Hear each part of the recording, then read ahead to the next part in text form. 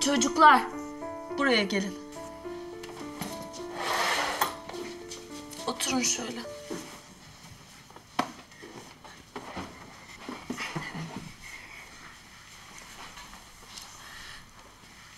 Şimdi ben size birer tane ilaç vereceğim. Bundan sonra her gün bu ilaçtan birer tane içeceksiniz. Tamam mı? Niye ki? Hasta mı olduk? Hayır hasta olmadınız. Niye?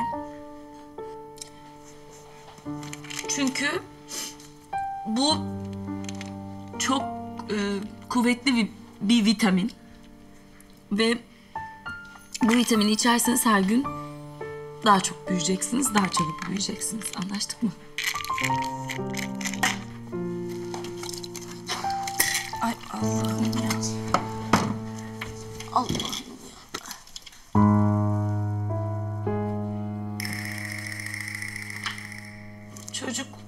çocuklar neredesiniz?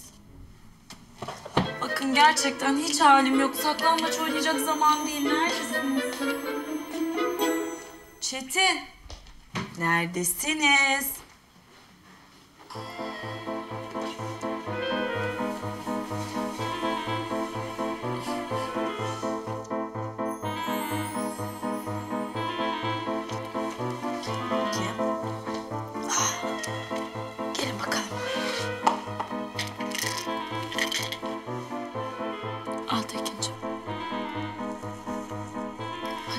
Çetin sen al.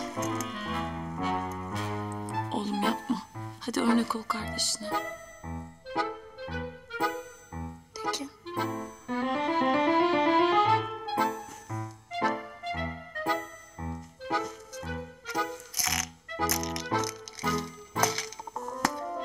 Peki. Elif o an kararını verdi.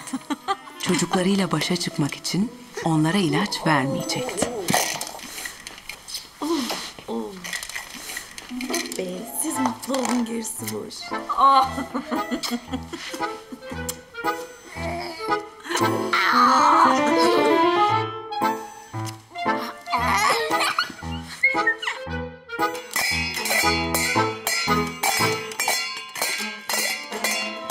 Madem çocukları ilaçla uyuşturmayacaktı, o da kendini rahatlatmanın kolay bir yolunu buluverdi.